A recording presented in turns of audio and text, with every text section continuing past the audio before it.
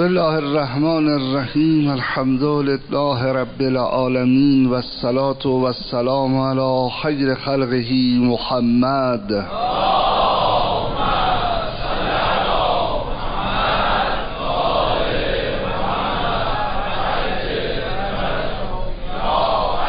و علی اطرته الطاهرین و اللعن الدائم علی أعدائه مجمعین الان إلى لقاء یوم الدین آمین یا رب العالمین. و اما بعد ما یک بحثی رو مطرح کردیم تحت عنوان معلفه ها و خصوصیت هایی که جامعه شایسته و ایدئال رو می سازند جامعه شایسته همون آرزوی فلاسفه است مدینه فاضله. این معلفه ها در ساخت این جامعه مؤثر هستند. جامعه ایدئال و شایسته را هم تعریف کردیم به جامعه ای که در آن تمام منافع مادی و معنوی آهاد و افراد جامعه تأمین میشن. و دارای نشانه های متعددی از جمله برقراری امنیت به تمام معنا و در تمام مراتب. از جمله امنیت روحی روانی جامعه شایسته نشانش این است که اون جامعه دارای امنیت روحی روانی است. یعنی به دور از تنش اضطراب و استرس است. جامعه است که درش امنیت مالی وجود دارد. جامعه است دارای امنیت آبرو حیثیت ارث آبروی افراد نه در فضای حقیقی و نه در فضای مجازی به تاراج نمیره. این ساخت چنین جامعه کار سختیه. لذا باید خصوصیاتی در افراد جامعه وجود داشته باشد. جامعه است که امنیت جانی دارد امنیت مالی دارد امنیت اجتماعی داره. از چنان روابط مستحکمی بین آهاد جامعه برخوردار است که این روابط موجب بشود تمام کانونهای اجتماع حفظ بشن. از جمله قانون خانواده. جامعه ما که به حسب فرهنگی ایران و به حسب مذهبی شیعه است آمار گسیختگی و طلاق خیلی زیاده. منوش امنیت اجتماعی درش وجود نداره. باید به این جامعه برسیم که کانونهای تشکیل دنده اجتماع پیوستگی درشون بیشتر باشن. و امنیت معنوی. و امنیت معنوی در جامعه وجود داشته باشد. ارز کردم نشانه جامعه ایدئال یکیش برقراری امنیت به تمام معنا در تمام مراتب. که مراتبش رو ذکر کردم. آنها روابط بین جامعه بر اساس یک مبنای صحیح به نام اصل اخوت هست. این مبنای صحیح باعث بشه که پیوند اجتماع دائمی باشد.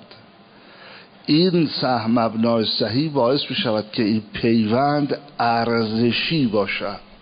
اینا مباحثی بود که ما در دهه راجبش مفصلا صحبت کردیم.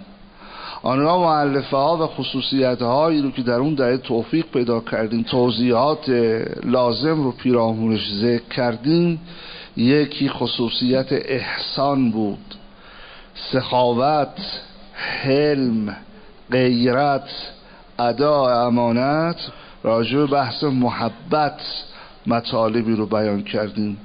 آعاد جامعه وقتی بخوان به سوی جامعه شایسته برن این خصوصیات رو باید داشته باشن. بدون اینا هیچ مشکلی حل نمی شود دولت مردان هم هر دولتی بخوان باشند از طایفه الف باشد یا از طایفه ب باشد هر که باشد.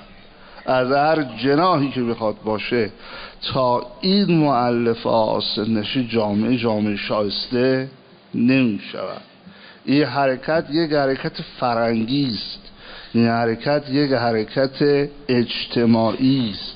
آهاد جامعه می‌خوان تا نخواهندم درست نمیشه مثلا مطلبی رو که امروز امشب تحت عنوان یکی از معلفه های جامعه شایسته بیان می‌کنم بحث قدر شناسی و یا همان شکر است.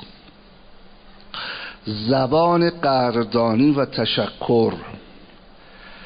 فرهنگ قدرشناسی از نیکی ها و نیکوکاران. یکی از عوامل اصلی انسجام جامعه و تحرک بخشیدن جامعه برای رفتن به سوی اهداف عالی است. قدر شناسی چیزی که در جامعه شاید یافمی نشود. همون بحث شکره لازمه ایمانه. ایمان کسی رو که بخوان بسنجن میگن ببین این طرف شاکر هست یا نه. نمیگن ببین نمازش چجوریه. شاکر هست یا نه. عوامل سازنده ایمانی که شکره حالا ببینیم ما اصلا شاکر هستیم به درگاه عزت حق یا نه. شکر در لغت به معنای شناخت نعمت است. پس دو تا مرحله داره. مرحله اول شناخت نعمت. دو در مقابل این شناخت اظهار اظهار اون نعمت. یا به زبان که میشه شکر زبانی یا به عمل که میشه شکر عملی. پس اول باید نعمت رو بشناسی و بعد اون اظهارش بکنی. این در لغت. ولی در اصطلاح علماء علم اخلاق تعریف شکر این است. قدردانی از نعمتها. قدردانی از نعمتها. این قدردانی از نعمتها یک امر فطری است. یعنی در نهاد انسان قرارش دادن. آیه شریفه هم به همین امر فطری اشاره می کند حل جزاء احسانه الا احسان تو با یک اندیشه میگی نه همینطوره. در مقابل لطف دیگران باید مترسد شد و اون لطف رو چیکار کرد؟ جبران کرد. شما هم هر کسی که بهت لطف می‌کنه میگه انشاءالله جبران می‌کنی. انشاءالله جبران کنم. یه جوری بشه جبران بکنم. چون هم امر فطریه. آیه هم به همین امر فطری اشاره می‌کنم شکر از مقوله است که هم نسبت به خالق مطرح می شود و هم نسبت به مخلوق. شکر خالق یک طریقه است و شکر مخلوق یک طریقه دیگر. طبیعی است. جامعه که بخواهد به سمت جامعه شایسته برود باید هر دو شکر رو داشته باشه. بحث امشب ما شکر در مقابل خالقه. ببینید این همه نعمتی که خدا به ما داده است ما در مقابل اون شاکر هستیم یا نه معنای مشترک شکر بین خالق و مخلوق قدردانی از نعمت اما طریقش با همدیگه چیه؟ متفاوته اونجوری که نسبت به خدا باید شکر گذاری کرد با شکر گذاری در مقابل مخلوق چیه؟ متفاوت. ما راجع به خالقش صحبت می‌کنیم. بحث بسیار بحث دقیقی است. مراحلی داره. مرحله اول. من اگر بخواهم در مقابل نعمت خدا شاکر باشم گام اول اینه که نعمت رو چیکار کنم؟ بشناسم. بفهمم این که داده شده است آقا نعمت. یعنی انسان باید به حدی از معرفت و عرفان برسد که همه داده های الهی را نعمت بداند. اما انسان ها اینجوری نیستن. معمولا اون داده هایی رو نعمت می‌دونن که دوست دارن. هرچه خدا داده است نعمت نیست. اگه پول باشه نعمت. اگه سلامتی باشه نعمت. اگه زن خوب باشه نعمت. اگه بچه خوب باشه نعمته بقیهش میگه نقمت. مشکل ما در شوق گذاری همین تشخیص است که نداریم. ما باید به جایی برسیم که همه داده های خدا رو چکار بکنیم؟ نعمت بدانیم. چون نمی‌دانیم در سوره مبارکه سبع آیه سیزده خداوند علی اعلا میفرماید و قلیل من عبادی شکور طایفه کمی از بندگان من شاکر هستن چرا؟ چون اینا عاجزن اینا فهم ندارن اینا درک ندارن. اینا به جایی نرسیدن که هر آنچه از دوست رسد را چی بدونن؟ نیکو بدونن. می‌دونی حرفو؟ میگن اگه تندرست بودیم کار درسته. اگه قنا بود کار درسته. قنای در مقابل فقر نه اون مقوله. در حالی که در بینش اسلامی اینجوری نیست.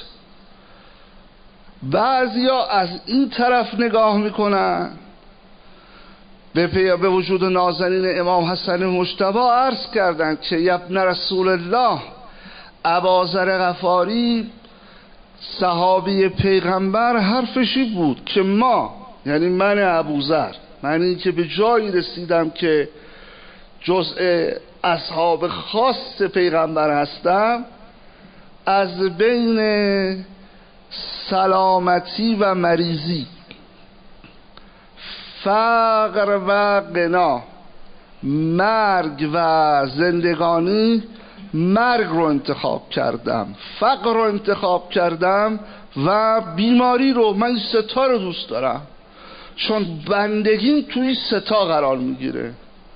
امام مجتبا علیه السلام فرمودن رحمت خدا بر جناب ابوذر اما ما اهل بیت هر آنچه را که خدا بدهد راضی هستیم.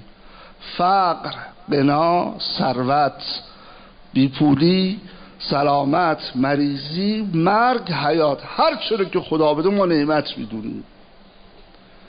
در بینش اسلامی فرق نمی‌کنه. ته چا باشی نعمت الهی است. زعامت جامعه بنی اسرائیل رو هم داشته باشی. باز چی آقا؟ نعمت الهی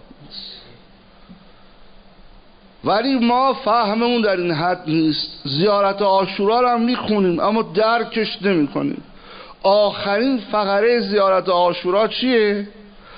اللهم لک الحمد حمدش شاکری لک علا مصابهم شکر بر مصیبت یعنی گوینده صادر کننده زیارت آشورا که به نقل امام صادق است و این حدیث حدیث قدسی است یعنی خدا میفرماید بنابراین مصیبت گرچه اعظم المصائب است اما حمد شاکرین الحمد لله علی عظیم مصابی و رضیتی فیهم حمد در مقابل عظیم الرضایا حمد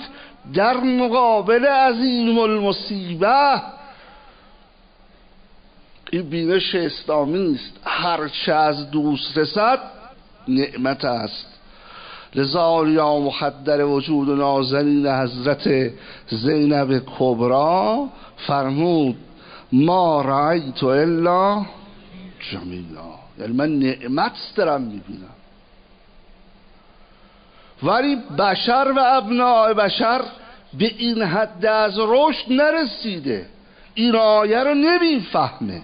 سوره مبارکه بقره دویست و شونزده و اصا ان تکرهو شیئا و هو خیر لکم. به حسب ظاهر خراب نیست. به حسب ظاهر مجلس شراب است. به حسب ظاهر جسارت به سر بریده است. ولی و هو خیر لکم. ولی و اصا ان تحبو شیئا و هو شر لکم. و حسب ظاهر سلطنتی است. و حسب ظاهر شهرتی است و حسب ظاهر قدرتی است و حسب ظاهر اقتدار است. ولی و هو شر لکم شر توست. والله یعلم و انتم لا تعلمون. این اولین گام شوق گذاری در مقابل خداست. بفهمید همه داده های الهی چی آقا؟ نعمت است. یک. دو. این داده ها و نعمت رو از ناحیه خدا بدانید نه اینکه این داده ها را از قبل اینکه آقا ما چقدر آدم زرنگی هستیم قرآن کریم میفرماید سوره مبارکه نساء هفتاد هشت قل کلون من عند الله همه چیز ناحیه خداست. و این همه چیز هیچ ربطی به تو نداره نه به زرنگی تو ربطی دارد نه به ارزش های معنوی تو. من به هر چی دلم بخواد هر چی دلم بخواد میدم. و چون محتاج به هیچ کس نیستم با هیچ کسم مشورت نمی کنم. حالا من مثلا یه ثروتی به هم البته من کنم مثلا یه کسی یه ثروتی به هم زده بگه خب من چرا پیش خدا ارزش دارم که این پول من داده. هیچ ارزش آقا من دو دو تا چهار تا رو خوب بیفهمم بیفهمم کی نبز بازار دستمونه. اصلا ربطی به تو نداره. من این داستان رو مکرر گفتم. یک کسی از کسانی که دوستان ما بود که از ثروت از آدم که ثروتش بی سقف حد و هست نداره. و در این حال خب چند سباه پیش مثلا چند سال پیش ازش پرسیدیم اوضاع اقتصادی گفت تا شیش با دیگه اوضاع درست میشه. همه چی تکون می‌خوره. تا شیش ماه دیگه گفت همه چی تکون می‌خوره اوضاع درست میشه و این حرفا. از اون شیش ماهی که ایشون گفت هفت سال گذشت زلزله کرمانشاه آمد تکون خورد کرمانشاه ولی اقتصاد تکون نخورد. این معلوم میشه که آقا من دارم به تو میدم اگه بر اساس حساب کتاب تو بود که تو حسابات کتاب غلطه. تو میگوشی چیزی دیگه؟ همیشه درست میشه. ولی من به تو دادم. کاری هم ندارم که تو بلدی حساب کنی یا بلد نیستی حساب بکنی. من دادم. یک جمله با خیال خوش بگو خدا بیشترش بکنه. قول کلون من اند الله. همش انایی خداست. که من شایستگی داشتم یه همچی اتفاقی افتاده؟ نه. این گام دوم در شوق گذاریه آدما اینجوری نیستن برادرها. آدما اینجوری نیستن. آدما وقتی در بحث اقتصاد صحبت می‌کنن میگن یه سفره ای هست و هزار نفر سر سفره ما هستن. این اول شرکه. چون خودش می‌دونه این حرفو. یه جایی رو دارن انداختیم هفتاد هشتاد نفر دارن سر سفره ما نون می‌خورن. سفره تو کیه؟ قل کلون من عند الله. همش از ناحیه خداست. این گام دوم. گام سوم به نعمت الهی راضی شدن. آقا همش هم که پول نیست. همش هم که پادشاهی بنی اسرائیل نیست. تهجا هم داره. زندان هم داره شلاق هم داره. تا کجا راضی هستی؟ فقط پادشاهی رو دوست داری؟ تهجا هم دوست داری؟ راضی شدن به نعمت. تو در مقابل داده های الهی رزن به غذائه چند مرتبه تالا گفتی. تو که با خدا قهر می‌کنی خدایا اگه دادی که دادی ندادی من میرم باهایی میشه خب بر بش خدایا اگه دادی که دادی اگه ندادی من دیگه فردا نماز نمی‌خونم. خب نه خب تا حالا که خوندی چی شدی که از فردا نخونی؟ این چه اتفاقی میفته ما راضی نیستیم به قضای الهی.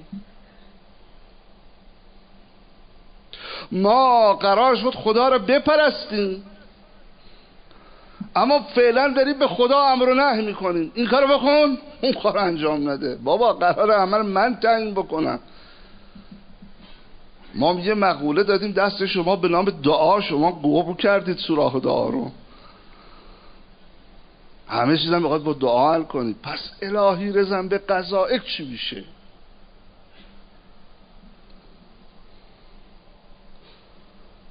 اگه بنا بود با این دعایی که تو می‌کنی همه چی درست بشه که همه مسلمون می‌شدن. گفتن این مسلمان ها یه دعایی دارن چیزی بخوان انجام میشه. خب ما بریم مسلمان شدیم یهودی باقی بمونیم. البته به این معنا نیست که دعا مستجاب نمیشه. دعا قطعا مستجاب میشه. من تجربه شخصی رو بهتون میگم. تجربه ای که سی سال پاش عمر گذاشتم. دعا دیر و زود دارد ولی سوخت و سوز ندارد یعنی قطعا اجابت میشه. مهم آن است که شما در مسئله دعا ناامید نشید. این مهمترین مسئله است. اما سومین گام در مسئله شکرگزاری بحث راضی شدن به داده های الهی است. چهارده سال زندان او صبر جعفر. به جوانی به شهادت رسیدن سه امام حضرت جواد حضرت هادی حضرت عسکری. اینا رو راضیان به قضای الهی. بین در و دیوار قرار گرفتن راضیان به قضا. الحمدلله علی کل حال. خطبه صدیقه طاهر است. راضی به نعمت. هم به خون نشینی شوهرش. و همین که اگر جامعه اون اشتباه بزرگ رو نمی کردن زعامت و خلافت شوهرش. این چهار تا مرحله که سه تا مرحله که به نعمت راضی بشی نعمت رو از ناحیه خدا بدونی و نعمت رو بشناسی. بدونی داده های الهی همش نعمته. چهارمیش چیه؟ آنگاه قدردانی کردن از خداست. این قدردانی کردن گاه در مرحله زبان است. سوره مبارکه زها آیه یازده. و اما به نعمت ربک فحدث. نعمت خدا رو چکار کن؟ حدیث کن. یعنی بگو آقا خدا من داده. حالت خوبه؟ می‌تونه چشمش بزنه. حالا مثل پلنگ میدوه تو جاده. ولی وقتی که حالت مثل من کمتر تاجری رو دیدم که ازش بوزم وضع بازار چطوره؟ بگه الحمدلله. بگه هی.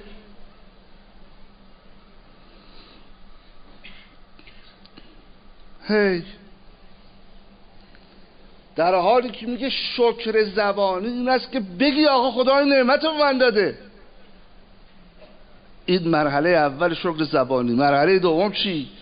مرحله دوم این است که من حمد الله علی النعمه فقط شکره کسی بعد از اینکه خدا بهش نعمت داد بگه الحمدلله رب العالمین. این شکر زبانی است. و کان الحمد افضل من تلک نعمت این الحمدلله گفتن پیش خدا از اون نعمته ارزشش بیشتره. پس شکر زبانی دو تا مرحله داره.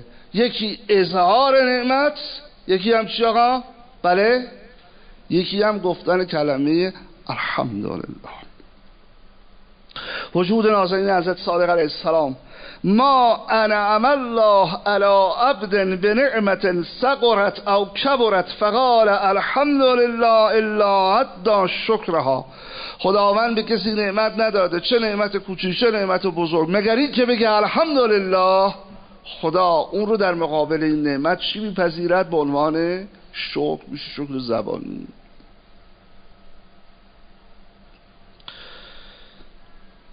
این الحمدلله افضل من تلک نعمه نزد خدا از اون نعمتی که داده بالاتره. چرا بالاتره؟ چون باعث اضافه نعمت میشه.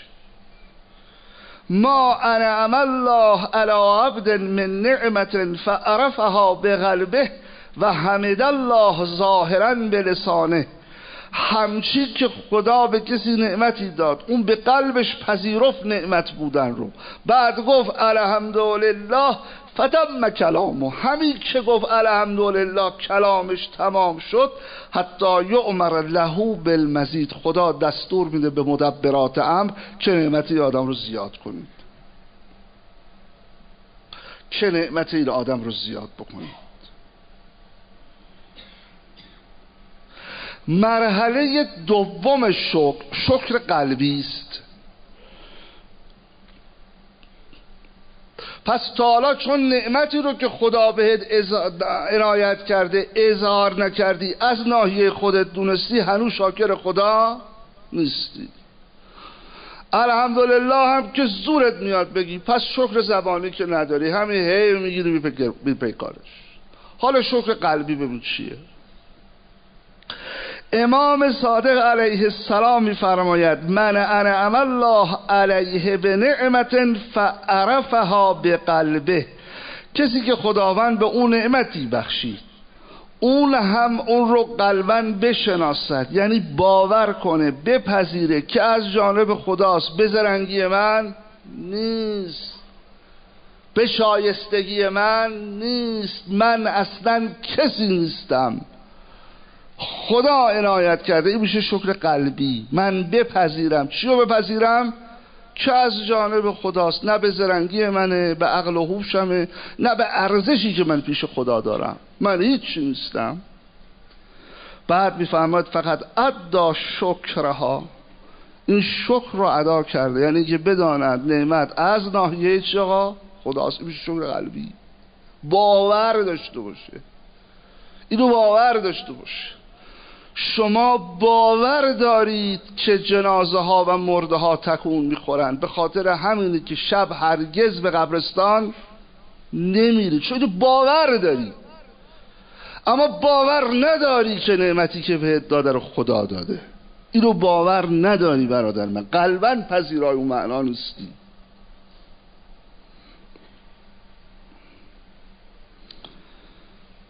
این هم شکر قلبی یعنی پذیرش. قل کلون من الله. همش از نای خداست. ربطی به زیرکی من نداره.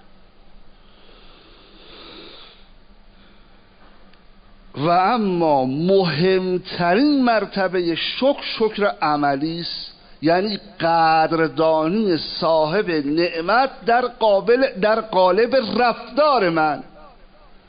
اون در قالب زبان من بود. باید اظهار می‌کردم الحمدلله می‌گفتم اون در قالب قلب من بود باید میپذیرفتم که اساسا به هیچ خدا همه چیز داده است.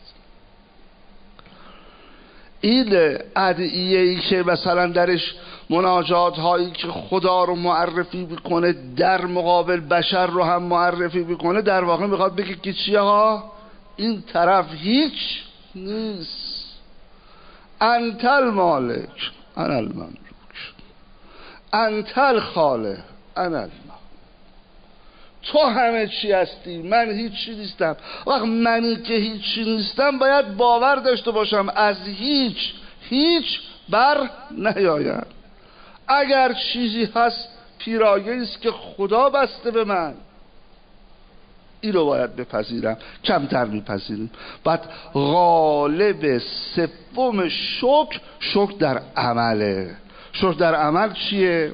چرا شکر عملی؟ قال علی علیه السلام. شکر المؤمن یظهر فی عمله. در عملش هم ظاهر میشه قد شناسی مؤمن از نعمت خدا.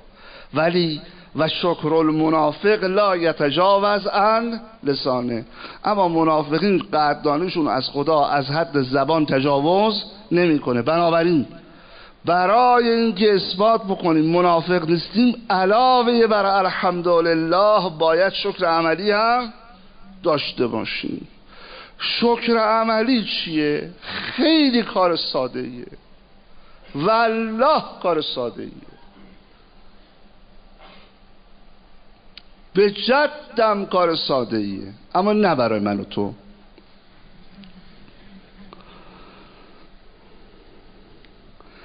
آقا شکر عملی چیست شکر عملی در مقابل نعمت خدا قال علی علیه السلام. شکر و کل نعمت الورع اما حرم الله. دچار گناه نشدن. فهمیدی چی شد؟ و قلیل من عبادی الشکور. ما شاکر عملی خدا نیستیم. باید ورع رو رعایت بکنیم. نه این که گناه نکنیم. جوری زندگی کنیم که به گناه نکشه. اگه رفقایی داری که عوضی رو بپسشو کنار. به این شیطنت هم که ما با اینا رفاقت می‌کنیم اینا بشن خوب حالا تو شدید بعد تضمینی وجود نداره رفیق من. اینم شیطنته. چهار تا رفیق عرق خور بس اینا بیان با من میان چهار جلسه بیان مسجد درست میشه. اونو چهار جلسه میان مسجد ضرر نمی‌کنن. اما تو یه جلسه بری اونجا دیگه معلوم دیگه. چی برگردی؟ چه شازده ای برگردی؟ میگه اصلا دور اینا رو خط بکش نه اینکه شراب نخور اون که هیچ. ورع یعنی یه جوری زندگی کن که منتهی به گناه نشه. نه اینکه گناه نکن. این میشه شکر عملی. یه حدیث حدیث دوم. چقدر آقا قشنگه. خیلی خوشگل میگه. فقط مال خودشه. با زنش و بچهش همین فقط خودشون می‌تونن کارو بکنن. ما خیلی آدم حسابی باشیم خیلی انصاف داشته باشیم فقط بتونیم بگیم مخلصیم. بیشتر از این هم نمی‌تونیم بگیم. اقل ما یجب آقا امیر المومدین بیفرماد اقل ما یجب للمنعم کمترین چیزی که برای نعمت دهنده واجب است. یعنی تو باید در مقابل نعمت دهنده انجام بدی. کمترین حد صفرش. الله یعصا به نعمته که به واسطه نعمت هایی که بهت داده گناه به واسطه چشمی که بهت داده گناه به واسطه زبانی که بهت داده گناه به واسطه گوشی که بهت داده گناه به واسطه پایی که بهت داده گناه به واسطه جوانی که بهت داده گناه به واسطه ثروتی که بهت داده گناه به واسطه اعتباری که بین مردم بهت داده گناه. نکنی این اقل حق نعمت دهنده است. فهمیدی و قلیل من عبادی شکور یعنی چی پس؟ چون شکر عملی هم بکار نیست. قلبا که از خودت می‌دونی زبانن هم که بی هی عملا هم که اهل گناه هستیم فی امان الله. دیگه دنبال چی هستیم؟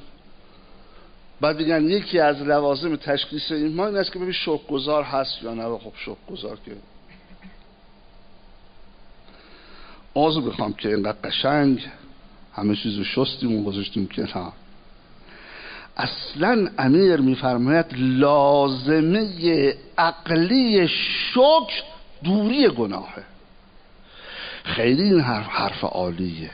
لو لم یتواعد الله عباده علی معصیته. اگه خدا نفرموده بود آقا در مقابل گناهی که می‌کنید عذاب جهنمی هم هست. اگه نفرموده بود این رو لکان الواجب هراین واجب این بود که الله یعصا باز خداوند معصیت نشه نافرمانی نشه گناه نشه. شکرن لنعمه از باب شکرگزاری و قدردانی. در مقابل نعمت خدا.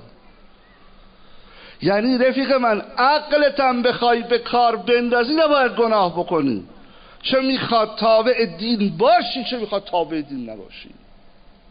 لازمه عقلی شکر که یه امر فطری است.